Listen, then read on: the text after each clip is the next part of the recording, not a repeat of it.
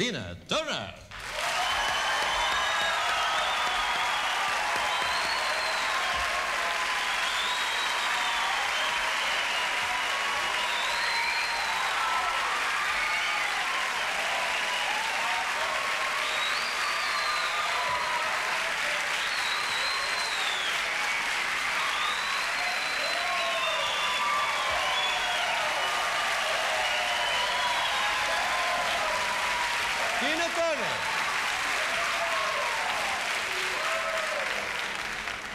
Okay, Tina, thank you very much for being with us tonight. Ah, it's a pleasure. It's a privilege for me and for our viewers, definitely. I uh, told the people that uh, you are the queen of rock and roll. Do you feel like a queen? No, Would you like to be a queen? uh, I don't know. I don't know what uh, what's really involved. I mean, because sometimes what looks like is not what is. So I don't like to sort of step in territories that I don't know what's going on. But anyhow, I read somewhere, maybe it's a lie, but uh, you are going to tell me if it's a lie or not, that um, uh, you believe in, uh, in life after death, and uh, in the next reincarnation, you'll be a queen. Is that true? I said I plan to do nothing. Anyhow, That's what queens do. Then it's good. anyhow, I know that you have in your apartment a statue of an Egyptian queen. yes. Is, has anything to do with that queen thing that we're talking about? Well, I learned a lot about. Um, there was actually a, a queen, and her name was Hatshepsut, and she actually reigned as pharaoh. Very few people know about her, and uh, I've just been sort of doing a lot of study about her. I was told a few things that sort of involving my life and that far back I could sort of relate to. I'm going Sounds- to tell you something. I had to study everything about her life to have this conversation with you. I know everything about that queen, but anyhow, we can talk about that later. But let's go to your professional life. You've been between 75, as far as I can remember, because I'm very old. Are you? Yes, I was born before 75. And in 75, between 75 and 83, when there was the explosion, the Tina Turner explosion, what happened in your career, those eight years?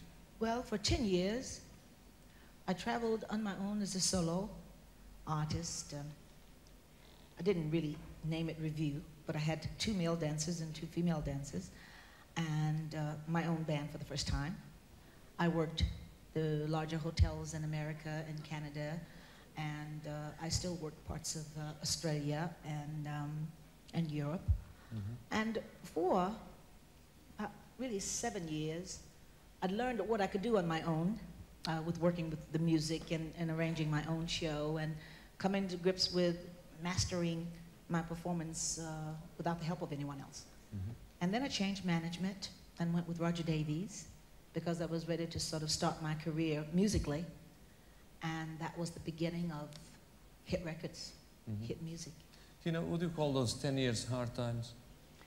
They were great times for me. I think that they could be hard for some people because um, what you experience in your life has a lot to do with what is hard.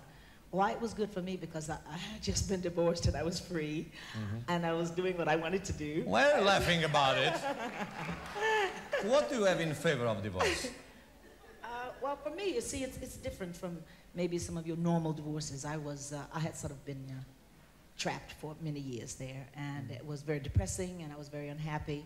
So after my divorce, I, be- I started to becoming a happy person. Mm-hmm. So it wasn't hard for me because I was realizing a lot of my own dreams mm-hmm. during that period, and then I went forward with my career, which is like went the next step, you know. So it, it no, it was not hard for me. It was, mm-hmm. it was very nice. Anyhow, you said before that you realized that you could do your own career without the help of anyone else.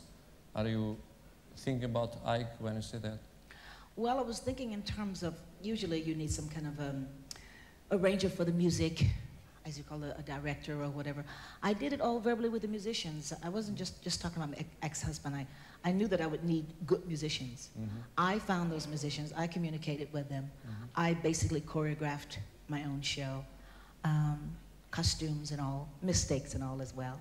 But I did it myself, and so I mean, I found out that without a hit record, I could still survive. You know. hmm But anyhow, the hit record happened. Did you Uh, expect that reaction of the public to No. let's stay together? No, I didn't. But I can understand it because I never left my audience. I was continuously performing, Mhm. and my public waited for the material that I would eventually give them.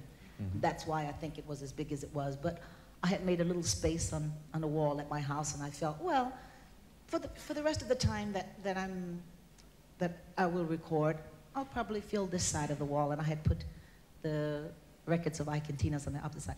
Now that entire wall is only of private dancer. It's just one wall of gold, silver, and platinum. All mine. All of the Ike and Tina's are down now, so it was a it was a real surprise. As far as I know, it's a brick wall, that special one. There, you know about that wall. Well, I've been there. Uh, I don't know when. Well, you were traveling in Australia, and I was there as a pilgrim. Oh. And I watched your brick wall where you hang all the gold and silver and platinum It's- records. it's nice, isn't it? Uh-huh. You know, according to the image that uh, I think you have, what the public thinks about you, you are beautiful. Some people think, well, most of the people think you are very sexy. You are a great performer. You have lots of hits. And um, in the consequence of that, you have lots of money as well. Is that enough to be happy? Or are you looking for something else in your life? Um, success can take on a part of happiness. Um, I think it's all what a person would need. Some women would feel that if you've gone through a 16 year marriage and you've had children, you might not need to do it again.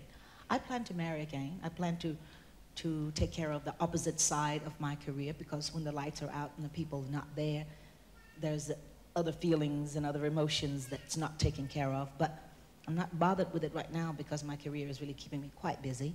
And actually, if I was in love, I wouldn't be here today.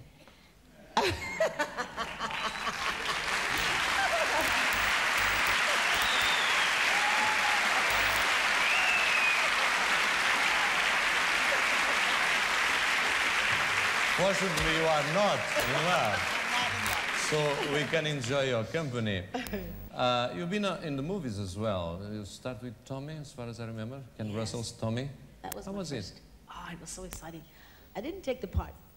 Actually, I didn't actually know that I was an acid queen, Right. drug queen. I took the part because she was a mad woman, and she, she turned into that machine, and she had that little apartment up there, and I was excited about that. And as I was doing the part, I didn't, I still didn't really realize what was happening because I didn't read the script. I only read just that mm-hmm. part. And when the girls brought the pillow with the needle, I went, oh, I'm promoting drugs. I couldn't believe it. I was, wasn't too happy about that. So it took a, just a second for me to sort of compose myself, and I realized, well, it is acting after all, you know, and um, people know that I never really did drugs. So that was a part of what that was like. But other than that, it was so exciting. hmm And then came Mad Max, Beyond the Thunderdome. Yeah. How, how was it? Another queen, huh? You see? you see? I have, I have reasons to ask you about the... Well, I don't know why. People seem to want to give me that title. Maybe it's because I've worked a long time. That was the epitome of my acting career at- this point because I was actually speaking. You see, with That's a Queen, I was still dancing and singing. Entity didn't dance, so she didn't sing. She was driving cars, and she mm-hmm. was queen of a city, and she was in control of something she had built. And I felt really very strong playing the part of that mm-hmm. woman. Mm-hmm. I mean, it actually sort of felt like something I'd done maybe another lifetime or something. And, and I was there alone. It was the first time that I'd totally gone on my own. No management, no assistance, nothing. Just me with the movie people. And I really do know that that's what I want to do. I know that's the next step. Mm-hmm. Is that true that you refused the, the, the role in the Purple Collar? Yes, because I don't, I don't want to sing. The part that they, they had offered me was the girl that was singing and mm-hmm. coming from the church. And I just feel like that's the part they always want to give black people, you know? There are a lot of great black actresses and actors, and the parts that I want to do is more exciting and uncommon. I don't want to do common parts. I want to do like uh, what Sigourney Weaver is doing. I want to do, even if I could play a part like, like uh, Terminator or, you know, I want to, I just, just for the finish of what I'm feeling right now. And then I can do as many color purples or whatever there is if I want to. But that was also very close to my past marriage, and I didn't want to be reminded So I didn't take that I have the feeling that you're trying to forget those times with Ike. Is that true? I've basically forgotten, but the press is still very curious to want to talk about Ike and his music. And I, I have to make a joke about it because before my success, no one wanted to know about Ike or his music, you know? Well, no, I'm asking you because I actually saw you in Cannes, in the Midem, Ah, yeah. uh, acting with Ike and, Yeah. and, and the band. Well, it's been many years. It was a great show, though, so I have nothing to complain about. Oh, about. no, so- those, those anyhow- were good years. I mean, the, the performance and all of what I'd done for myself back in that time, I don't put that down. I Mm-hmm. learned and I, I, that's what I took with me. I didn't take money, I didn't take any property, but I Mm-hmm. did take all of what I had learned as a performer from those years. Mm-hmm. So I do put value on that. You have two sons, right? Yes. What are they doing? You are My- traveling so much. Yeah, well, I was always traveling. How are you as a mother? I, I was as good as I could be. I took them with me um, on uh, school vacations, and, and I had family and very good housekeepers to sort of take care of them. And, Would you like and to see being them in boys, the music world? I don't mind if, if it's what they want to do. Mhm. I'm the type of mother, by being a traveling person, I, I can tell them what the options are, and then I think it's right for them to make the decisions and experience what they have to experience, and then they can truly know what they want to do. I think that's healthier at their ages, especially. Are you a big spender? Yes? What do you buy? Um, Don't try to buy me because I'm not on sale now. Well, I buy furniture, clothes. Furniture Yeah, I decorate my house. Mhm. Uh, I with an Austrian bed. yes. 19th Gosh, I- century? You've done all kinds of research on me, haven't you? No, I've been there. I told Oh, you. you Don't believe okay, me. you've been there. Come on. well, that all of that stuff was actually bought before my success. That's why I'm so proud of my my home is because um, I everything I've got now it came before my success. The money that I'm collecting at this time of my life is securing my family and and setting me up so that I'll never have to ever worry about working again. You know, I'm not wealthy yet. Mhm. The way I Come spend everything. on, No, no, no, no, no. I had I had quite a bit of lawsuits and bills and expenses, Mm-hmm. and I'm the one at the head of the family. When something happens, I have to pay the rent or I have to buy the cars, and I, that's a big responsibility. My money is not just mine. I'm sort of there to sort of issue out, you know. So it goes. It's not just there for me, you know. Okay, now uh, your biography was just published or some few months ago. Yes, Are you happy with it? Have you read it after it was published? I read it many times. Yes, I, I, um, I haven't actually read the book now because I'd read it so many times and I was just so tired of hearing it and talking about it. But I felt like if I, if I finally did that book, then the people would, would know everything and wouldn't have to ask me constantly. I've been divorced 10 years and people are constantly talking about what happened Mm-hmm. 10 years ago. Mm-hmm. And Come on, so is that, an why the invitation to me to stop questioning? No, I was just sort of explaining why the book. It was like to say, well, here it is, and you don't even have to ask anything anymore because there's nothing I can mm-hmm. answer. It's all right here. And so I want to go forward from But there are other books about your life. Yes, but they were Three misquotes. They were sort of taken from interviews, and it was, you know, you know, when you sort of translate things, it doesn't come out with the same meaning of what an artist Did you read said those sometimes. Some of them I did. Some of that is what made me make the decision now to, Are they to write that book. ones? No, not really. No. Not really. No, it was just, I think someone was sort of capitalizing on the success. There were lots of pictures, starting from the beginning, way, way back in, in the 60s, and, and all with the, the Stones and all the guys, and, and then just, just uh, prints taken from magazines. It was not a story, not what my book. My book is starting with the before Ikes, because my problem started before my ex-husband, actually. Okay. Just two more questions, Tina. The first one is, uh, this is your last album. It's already a silver disc in Portugal. Oh, Break every rule. Uh, uh, well, do you like to break rules? No, no, no, no, no, that, uh, well, yes. Yes. No. Yes or no? Well, yes, but it's not a matter of liking to break rules. It means that I set my own rules for myself, and, and and people look at me and they say, "Well, this is not what a normal 46-year-old woman do," or, but it's it's what I do because it's my life, and I stay safe within the realms of life because I live in this world. So breaking the rules is very sort of uh, appropriate for me is because it's how I've lived my life in the last 10 years. So we thought it was better than slave because that song it was taken from is called I'll Be Your Slave. I don't want to be a slave ever again. So we, Ever we decided, again? Ever. Again? No, ever again. Oh, I see. Okay. Anyhow, I, I see so many important names in this album, like David Bowie, Phil Collins, and so on. Yeah. Are you friends with them? Yes. Yes. And uh, do you like to perform with them? Well, haven't performed with Phil yet. He, I did. A, he was producing Eric Clapton, and he needed the mm, female back, background vocals, and that's how we met. And then he said, "Well, if you need anything for your album, I'll, I'll do it." But um, David and Mick Mhm. and Brian No, Adams and well. Bryan Adams, yes, but not Knopfler yet. Just just uh, in the studio with with Knopfler Mhm. and Phil. Do you usually go to, to watch other people's concerts? When I can, I like I like to because I never get the chance to because What we kind of always. music? Well, I'm still into sort of rock and roll, you know. Um, I, I like a lot of what Steve Winwood is doing now because it's it's on the close to the? R&B. Yeah, and he's he's he's close enough to what I feel in R&B. Not not that it would get too depressing because it's just right between, you know. Mhm. I think if I did another R&B album, it would I would certainly want to work with him on it because he stays right in the his feeling is romantic and then he's singing, you know, with the emotions of uh, R&B. So that's what I like about it. But um,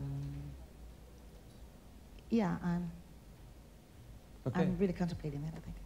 Okay, fine. So, uh, as I told you, uh, this, uh, this album is already um, a silver, Silver record here. Wonderful. in, Thank you. in Portugal.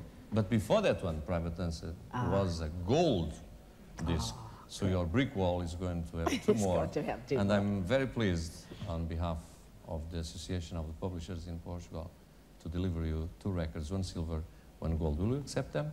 I most certainly will. Okay, that's my Oh, pleasure. they're here. Yes, surprise, surprise. That's the gold one for private dancer.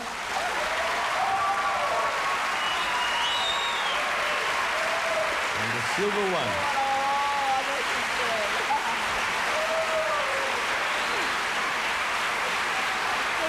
You're welcome.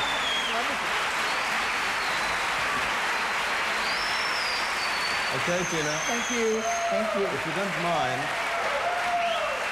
first of all, I want to thank you for our so candid answers. And uh, it was a great pleasure to me to have this chance of asking you some questions I'd like to have the answers a long time ago, since I saw you in Cannes. But uh, definitely I wouldn't allow you to leave this stage, this studio, without singing for us. Oh, all right. Would you? I'd love to. Yes. Okay, from the last album? Yes. Okay. All right. The strong ones? Let's see which one are we doing first. Is that the? Um, Uh, What you get is what what you you get is what you see. how about it? All right. Okay? Tina Turner.